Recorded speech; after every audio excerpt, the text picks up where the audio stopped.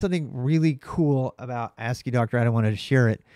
Um, and this is yet another reason to use AsciiDoc, but more importantly, um, it's it's talking about the importance of something called DocBook.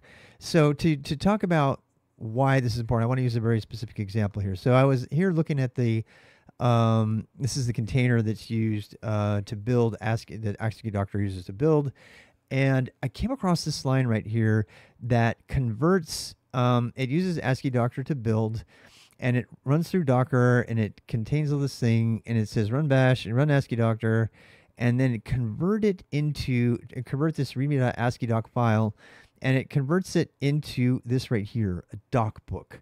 So what is docbook? Docbook, and uh, you can do the Google search, but docbook is a universal standard for creating publishable documents. I mean, this is literally the industry standard for publishing books. Um, and it is an XML kind of ugly piece of crap and and but whether it be Microsoft Word or Pandoc or or any of these things, it goes directly. And that one of the reasons that I keep coming back to AsciiDoc is because AsciiDoc is by definition one for one compatible with DocBook, and that makes it exceptionally uh, complicated and verbose, much more so than Markdown. But it also makes it able to do literally anything that can be done in DocBook. So, but one of the coolest things about this, and this is going to be kind of hard to to put the context around why it's cool, um, is it actually can allow DocBook to serve as the intermediary format when converting into other things, and that is Pandoc's absolute greatest claim to fame. Pandoc from JGM has been around forever and it takes documents of one format and converts them into another. And when I saw Pandoc in the container for Asciidoctor, I was like, what the hell is Pandoc doing here? This is scaring me. Is there a dependency? And then when I found out that the only reason this is even here is so this particular project can maintain a single README in AsciiDoc and then generate a markdown file out of that single file. So they're not maintaining two files separately. But the real thing that really just made blow my mind is seeing the intermediate use of DocBook as the method to convert over. So see then over here, you can see that they're calling into their Pandoc and they're using the Markdown headings as, you know, some of the settings for Markdown eh, because they want to, you know, preserve Markdown in a particular format. They're also forcing it into GitHub Flavor Markdown, which is one of like 10 different, you know, supported formats for, for Markdown. And then they say, use DocBook as the format. This dash F says tell Pandoc that the incoming format, the pipe of data right here, is coming in in XML docbook format, and then the output gets written to a readme.md. Why is this so cool? Because if you use Pandoc for anything else than I have for many, many years, um, you know that in order to get from one format to another, if you get any hiccups along the way, the traditional way to do that is to take Pandoc and convert it into raw or Pandoc Raw, which is an abstract syntax tree that's absolutely ugly. And I could show you here, but we'll skip that.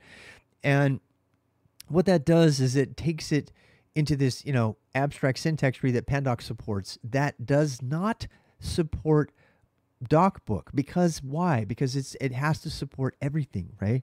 So so so the Pandoc abstract syntax tree is a really really really really really simplified intermediate step, but it's guaranteed to be able to work between all document formats that Pandoc can support for the most part. But why does that suck? It sucks because when you do that, you lose resolution, so to speak, um, between your documents, right? So you have the one document and it starts out in some it has some amazing things and then you go to the abstract syntax tree and then you go out to the other format and you lose sometimes actually directly um, if you're going to translate to that intermediate layer, you're going to lose resolution, which means you might lose the ability to do tables in one particular way or something like that. It's not unlike transferring an image that had lots of data in it into a lower one and then throwing it away and then trying to inflate that or to use that intermediate file as something else. You've already lost the resolution in the thing. So by having DocBook be the intermediary um, format for this conversion, you don't lose anything. You don't lose anything, which means that anything that's supported by DocBook, which is really anything anybody would ever really care about, in my opinion. In my opinion, DocBook is the only format anybody making documentation should ever care about. But obviously, nobody wants to write in DocBook because it's complicated and crazy. So you write an AsciiDoc, and then maybe you only use the stuff that's also available in Markdown.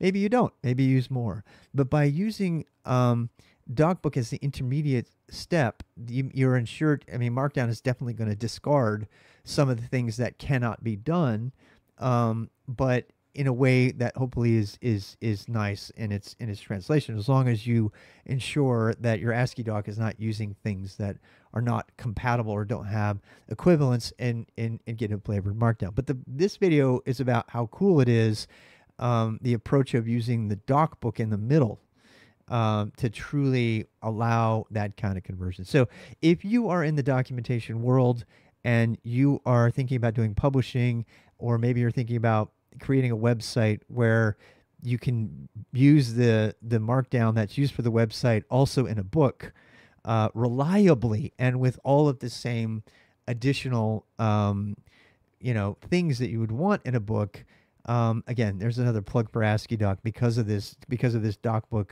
uh, compatibility, which can be used as an intermediate format form uh, format when you're converting to other things, and that's really the takeaway.